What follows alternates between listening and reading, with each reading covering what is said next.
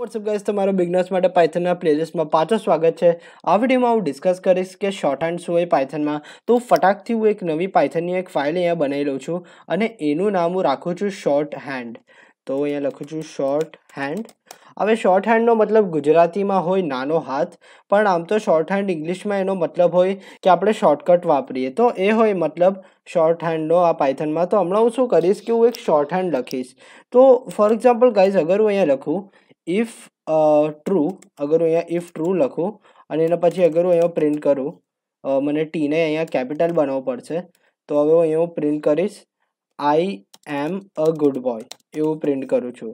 અને હવે કહીશ હવે વન રન કરીશ તો જોજો, શું પ્રિન્ટ થશે? I am a good boy print થશે, કેમ કે ટ્રુ તો એઝ અ ડિફોલ્ટ જ હોય, તો તમે જોઈ શકો કે અહીંયા I am a good boy print થઈ ગયું છે. અને હવે હું ફોર એક્ઝામ્પલ કહીશ અગર કેવું, આવી રીતે હું લખું. ઇફ ટ્રુ અને પ્રિન્ટ હું એક એક જ લાઇનમાં આનું લખું છું.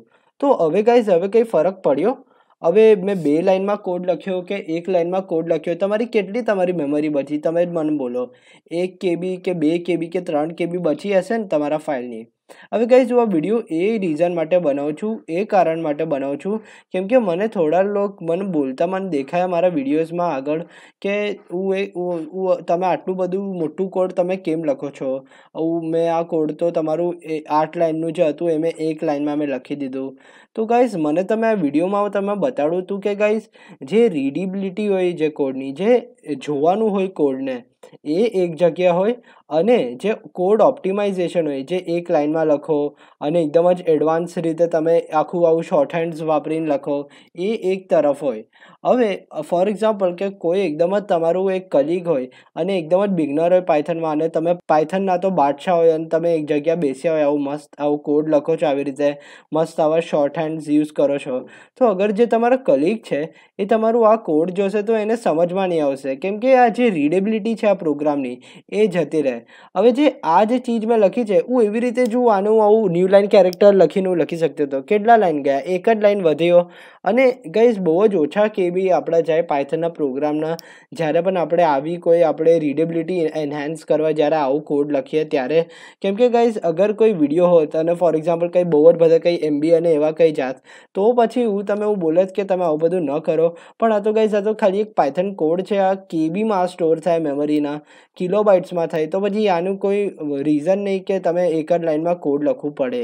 હવે કહીશ તમે બિગનર છો તો તમે કોડ ઓપ્ટિમાઇઝેશન પર એટલું ધ્યાન ન દેતા.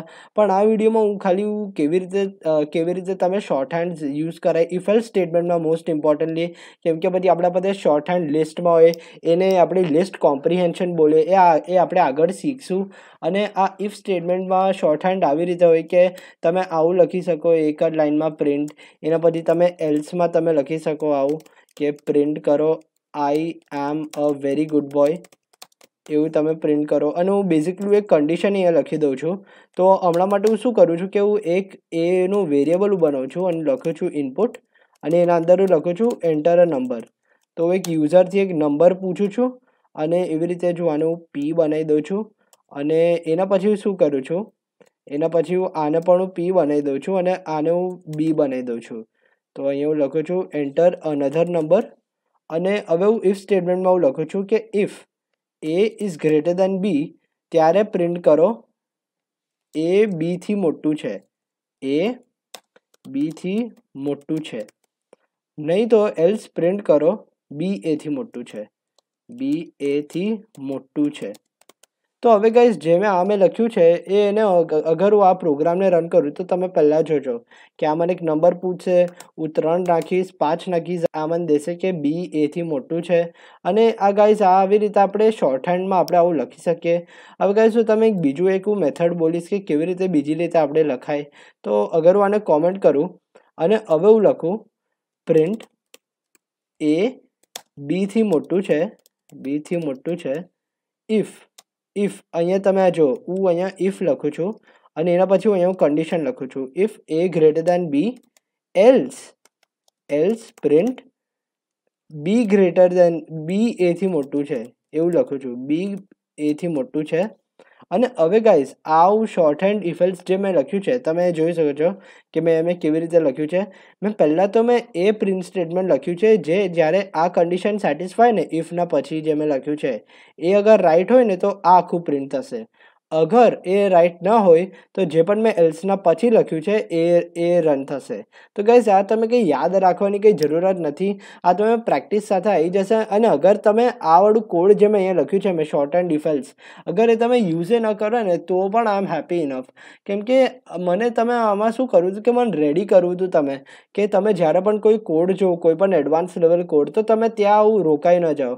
કેમ કે તમારા આગળ તમારા કરિયરમાં કે હમણાં પણ અગર તમે સ્કૂલમાં હો તો તમે બહુ જ બધા આવા કોડ તમે દેખાશે.